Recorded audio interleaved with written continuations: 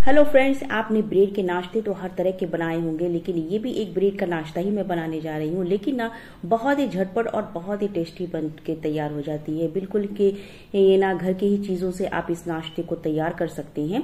तो चलिए इस रेसिपी को ना हम यहाँ पर शुरू कर लेते हैं। तो यहाँ पर मैं, आप देख सकते हैं कि मैंने यहाँ पर एक मिक्सिंग बॉल में आधा कप मैंने बेसन ली है। और इसमें डाल दिया मैंने थोड़ा सा हल्दी पाउडर थोड़ा सा नमक थोड़ी सी मिर्च पाउडर। अब इन सारी चीज़ों को पहले एक बार अच्छे से हम मिक्स कर लेते हैं। ये नाश्ता ना बहुत ही फटाफट से बन जाता है और हमें ज़्यादा तामझाम करने की भी ज़रूरत नहीं पड़ती है और खाने में बेहद ही टेस्टी बनती है। अब इसमें और भी थोड़े बहुत मसाले ऐड करेंगे तो मैंने यहाँ पर थोड़ा सा हींग का यूज़ किया है। हींग जो है बहुत ही अच्छी चीज़ है, डाइजेशन के लिए भी बहुत ही बेहतरीन चीज़ है और इसका टेस्ट भी अच्छा आता है। इसलिए ज़रूर से ऐड कीजिएगा बेसन की कोई भी ऐसी आप रेसिपी बनाए ना तो हींग को ज़रूर से ऐड किया करना। तो अब यहाँ पर मैंने डाल दिया है थोड़ा सा भुना हुआ जीरा पाउडर और थोड़ा सा काली मिर्च का पाउडर और यहाँ पर मैं अजवाइन डाल रही हूँ। बस थोड़ा ही डालना है वन फोर टी स्पून और इसे हाथों से क्रश करके मैंने डाला है ताकि इसका जो फ्लेवर है ना एक्टिवेट हो। अब इसमें डालने के बाद इसे एक बार हम अच्छे से सभी चीज़ों को मिक्स कर लेंगे। तो ये देखिए, बहुत अच्छे से ये मिक्स हो गई है। अभी इसमें हम और भी कुछ ऐड करने वाले हैं, क्योंकि इसमें ना हम एक क्रंचपन इसमें लाएँगे ना तो इसके लिए एक चम्मच क्या करेंगे, यहाँ पर हम चावल का आटा डाल देंगे। तो चावल का आटा डालने से क्या होगा ना, कि ये बेसन का जो फ्लेवर ये सॉरी बेसन की जो रेसिपी जो कुछ भी आप अगर बनाते हैं, उसमें आप चावल का आटा अगर डाल देते हैं ना तो एक्स्ट्रा आपकी ये क्रिस्पनेस बन जाती है। क्रिस्पी बन जाएगी आपकी ये रेसिपी तो मैंने इसे अच्छे से मिक्स कर लिया है। अब थोड़ा थोड़ा हम यहाँ पर पानी डालना है। तो मैंने यहाँ पर क्या किया कि थोड़ा थोड़ा मैंने यहाँ पर पानी डालते हुए गई और इसका ना एक हमें बैटर तैयार करना है, ठीक है? उसके बाद ही मैं इसमें और भी कुछ ऐड करने वाली हूँ। लेकिन सबसे पहले क्या करेंगे, बस मसाले के साथ इसे अच्छे से मिक्स करने के बाद ना इसे अच्छे से मिक्स करेंगे और इसका एक गाढ़ा सा हम बैटर तैयार करेंगे और उसके बाद जब ये बैटर तैयार हो जाएगा ना तो इसे एक से दो मिनट आप इसे अच्छे से बीट कर लीजिएगा बहुत अच्छे से फेंट लीजिएगा। फेंटने से क्या होगा कि ये जो बेसन है ना बिल्कुल हल्का सा हो जाएगा और हल, हल्का लाइट वेट हो जाने के कारण ना ये बहुत ही अच्छा और खस्ता भी बनेगा और क्रिस्पी बनेगी। और देखने में भी बहुत ही अच्छी और मतलब कि एक हल्की फुल्की सी नाश्ते आपके तैयार हो जाएगी। तो ये देखिए इसे अच्छे से मैंने मिक्स पहले कर लिया है। अब इसे हम एक से डेढ़ मिनट तक दो मिनट यानी कि हम इसे फेंट लेंगे तो ये देखिए। फेंटने के बाद इसका देखिए, कलर कितना चेंज हो गया है, बिल्कुल हल्का सा बन गया है। तो चलिए, अब इसमें हम कुछ सब्ज़ी डाल देते हैं। तो यहाँ पर मैंने हरी मिर्च का भी यूज़ किया है। आप चाहें तो इसे स्किप भी कर सकते हैं, या आप इसकी जगह पर चिली फ्लेक्स का भी यूज़ कर सकते हैं। मैंने एक चम्मच ना शिमला मिर्च भी डाला है, दो से तीन चम्मच, मैंने प्याज डाला, धनिया पत्ती डाल दी, सभी को बारीक चॉप करके डाला है, ठीक है? अगर आपके पास इनमें से कोई चीज़ ऐसा नहीं हो कि आपके पास नहीं है, जैसे कि शिमला मिर्च है तो नहीं है आपके पास ना तो सिर्फ़ आप प्याज डाल दीजिए, हरी मिर्च डाल दीजिए, धनिया पत्ती डाल दीजिए, अगर धनिया पत्ती भी नहीं है तो भी आप ये रेसिपी बहुत आसानी से बना सकते हैं। उसके बाद क्या करना है, इसे अच्छे से मिक्स कर देना है। हाँ एक चीज़ मैं और बता दूँ कि अगर चावल का आटा अगर आपके पास नहीं है तो आप क्या करेंगे ना तो एक चम्मच ना सूजी यानी कि रवा डाल दीजिएगा। इससे भी बहुत ही अच्छा सा क्रिस्पी बन जाता है। तो मुझे यहाँ पर ज़रूरत पड़ रही थी तो मैंने एक चम्मच पानी डाल करके इसे अच्छे से मिक्स कर लिया है। और अब इसमें डाल देंगे एक चम्मच ऑयल। तो ये वेजिटेबल ऑयल है। सरसों का ऑयल नहीं डालना है इसमें, यहाँ पर रिफाइंड ऑयल जो होती है, वही आपको यूज़ करना है। अब इसे इसमें डाल करके अच्छे से मिक्स कर देंगे। इससे जो है ना, बिल्कुल खस्ता बनेगी ये रेसिपी चलिए, अच्छे से मिक्स करने के बाद इसे देखिए, ये कंसिस्टेंसी हमारी रही। और अब इसके लिए हम ना, एक इसके लिए हम सॉस बना लेते हैं। तो मैंने यहाँ पे दो से तीन चम्मच ना टोमेटो केचप लिया है एक बॉल में, और थोड़ा सा वन फोर्थ टी के करीब यहाँ पर मैंने सेजवान सॉस लिया है। शेजवान चटनी क्या होता है कि वो तीखा होता है, ये मीठा होता है तो तीखा मीठा मिक्स करने से एक अलग सा टैंगी का फ्लेवर तैयार हो जाता है। तो चलिए अब इसे हम रखते हैं। साइड में हमारी सारी प्रिपरेशन हो चुकी है। अब हम, हमें करना क्या है?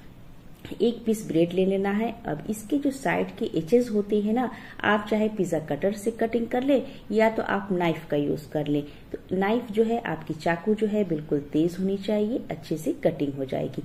तो इस तरीके से ना इसके एचेस को हम किनारे साइड से निकालते हुए चले जाएँगे। इस रेसिपी में ना आप ना साइड के जो एचेज हैं, वो उसे आप कटिंग करके निकाल ही ले तो बेहतर होगा, तभी अच्छी रेसिपी बनेगी। क्योंकि मैंने ब्रेड की जो है, बहुत तरह के नाश्ते बनाए हैं, मैंने एचेस को बहुत कम ही कटिंग करके निकाला है।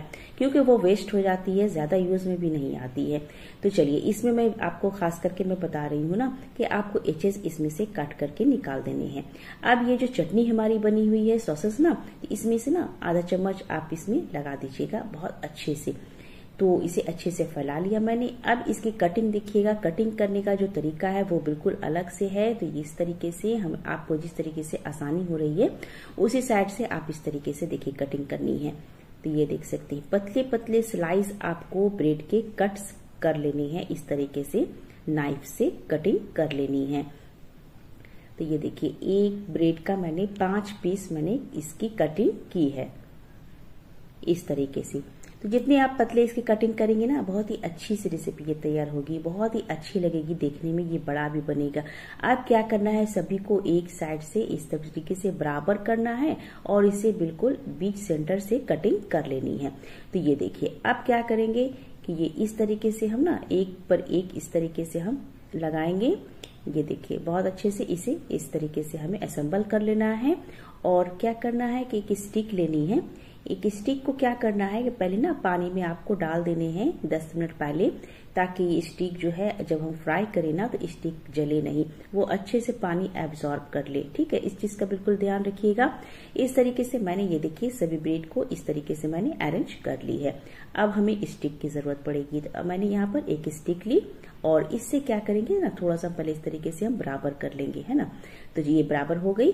अब इसे क्या करेंगे, ये देखिए नीचे साइड से हम इसे इस तरीके से हम ना, इस, ये देखिए इस तरीके से हमने इस पे फिक्स कर दी, ये देखिए। बहुत अच्छे से ये फिक्स हो गई, सभी ब्रेड तो इसी तरीके से ना आपको जितने भी बनाने हो, इसी तरीके से एचेस को काट ले और सॉस लगाएँ और कटिंग करके इसे स्टिक में असेंबल कर लीजिएगा। तो ये देखिए, मैंने यहाँ पर कुछ पीसेस को बना करके रख लिया है। अब इसे करना क्या है? अब आगे प्रोसेस में चलिए, चलते हैं। तो यहाँ पर इस तरीके से करने के बाद क्या करना है? ये जो बेसन का जो बैटर है ना, बस इसी में हम इसे अच्छे से डीप करेंगे और चम्मच की मदद से इसके ऊपर से अच्छे से कोटिंग करेंगे। पहले एक बार अच्छे से मिक्स कर लेते हैं। उसके बाद ना हम चम्मच की से उठाएँगे बैटर को और इस तरीके से इसके ऊपर से हम डालते चले जाएँगे। ये देखिए, इस तरीके से। सभी तरफ़ से अच्छे से कोटिंग कर लीजिएगा। तो इसीलिए मैंने बताया कि आपको ना इसका जो बैटर आपको रखना है, बिल्कुल गाढ़ा सा रखना है। ताकि ब्रेड में एक एक अच्छी सी, मोटी सी लेयर आप इसके ऊपर से चढ़ जाए। तो ये जब हो जाएगी तो हम इसमें क्या करेंगे? ये देखिए ऑयल में डाल देना है। ऑयल जो है कम रखना है, ज़्यादा हमें डीप नहीं रखना है। ज़्यादा यानी कि फ्राई हमें डीप फ्राई नहीं करना है। मैं यहाँ पे शेलो फ्राई कर रही हूँ। इसी तरीके से मैंने सभी पीसेस को मैंने ऑयल में डाल दिया है और कुछ सेकंड के बाद इसे हम टर्न करेंगे। और गैस का फ्लेम ना बिल्कुल मीडियम कर दीजिएगा। मीडियम फ्लेम पर इसे अच्छे से पक जाने दीजिएगा ताकि ये अंदर से भी अच्छे से सीख जाए और ऊपर की लेयर भी क्रिस्पी बन जाए। और इस तरीके से ना अलटते पलटते बहुत अच्छा सा कलर आने तक हम इसे फ्राई करेंगे। तो आज की रेसिपी आपको पसंद आ रही दोस्तों तो प्लीज़ लाइक ज़रूर से कर दीजिएगा और चैनल को सब्सक्राइब करना ना भूलिएगा। इस रेसिपी को ज़्यादा से ज़्यादा आप शेयर भी कीजिए अपने दोस्तों में, अपनी फैमिली में। तो अब मैं यहाँ पर क्या कर रही हूँ, मैंने यहाँ पर लिया है चीज़। तो चीज़ को लेकर के थोड़ा सा मैंने चीज़ ली है और इसके ऊपर से हम इस, ये इस तरीके से हम ग्रेट कर लेंगे।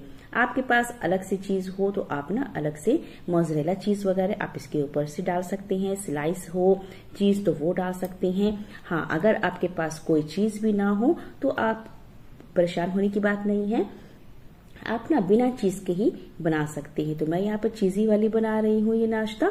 तो मैंने यहाँ पर चीज़ का यूज़ किया है। अब थोड़ा सा मैं यहाँ पर स्लाइस वाली चीज़ को इसके ऊपर से डाल रही हूँ ताकि ये थोड़ी सी ना अच्छी सी चीजी ये नाश्ता दिखे भी और बच्चों को ये सब चीज़ें बहुत अच्छी लगती हैं तो इसलिए मैं यहाँ पर डाल रही हूँ। आपके बच्चे अगर लाइक करते हैं, पसंद करते हैं तो आप डाल सकते हैं, नहीं तो आप इसे भी स्किप कर सकते हैं। तो ये नाश्ता ऐसे भी बहुत ही टेम्पटिंग लगती है खाने में। इसके ऊपर से थोड़ा सा मैं ऑरिगेनो स्प्रिंकल कर रही हूँ। तो ये नाश्ता ना एक बार आप बना करके देखिएगा। हमें इसमें ना कोई ताम झाम करने की ज़रूरत नहीं पड़ी फ्रेंड्स क्योंकि आलू को ना ही उबाला मैंने, ना ही कुछ ऐसा इसमें मेथड मैंने किया है, बस आपके पास ना कुछ ब्रेड पड़े हो, बस बेसन हो, बस फटाफट से उसमें लपेटिए और इस तरीके से फ्राई कर लीजिएगा ना। आप ना आपके अगर मेहमान भी कोई आ गए हो, बच्चे की छोटी मोटी पार्टी भी हो ना तो ये रेसिपी आप बहुत आसानी से बना सकते हैं, बहुत ही चटपटी बनती है, क्योंकि अंदर की जो सॉस इसमें डली है ना, बहुत ही अच्छी लगती है उस सॉस से, और आपको एक्स्ट्रा सॉस लगाने की भी ज़रूरत नहीं पड़ेगी। तीखा भी है, मीठा भी है, बहुत ही अच्छा है। आप इस रेसिपी को एक बार ट्राई करके देखिएगा और कम ऑयल में ही बहुत ही आसानी से ये फ्राई भी हो जाती है, ज़्यादा ऑयल भी इसमें नहीं लगती है। तो ये देखिए, हमने कुछ पीसेस को इस तरीके से मैंने बना लिया है। तो ये देखने में जितना टैम्पटिंग लग रहा है ना फ्रेंड्स यकीन मानिए, ये खाने में उतना ही टेस्टी और लाजवाब लगती है। इस रेसिपी को एक बार ज़रूर से ट्राई करके देखिएगा। मैं आपको तोड़ के भी दिखा देती हूँ कि अंदर से और किस, कैसी लगती है। ऊपर की लेयर देख सकते हैं कि कितनी क्रिस्पी बनी है और ऊपर की लेयर को देख सकते हैं। ऊपर की और अंदर की। अंदर की जो है बिल्कुल सॉफ्ट और जूसी है और चीज़ की वजह से ना बहुत ही अच्छा सा इसमें टेस्ट भी आया है और बहुत ही देखने में तो लुक ही बहुत ही अच्छा है। तो ये देखिए, इस तरीके से मैंने थोड़ा थोड़ा सा हम क्या करेंगे, ये शेजवान सॉस वाला जो हमारे पास चटनी है ना, उसमें थोड़ा सा डीप कर लेंगे। क्योंकि इसमें तीखापन है ना तो तीखापन थोड़ा सा अच्छा लगता है। तो चलिए, इस तरीके से आप एक बार नाश्ते को ज़रूर से बनाइए। Thank you for watching this video फिर मिलते एक नई रेसिपी के साथ। Thank you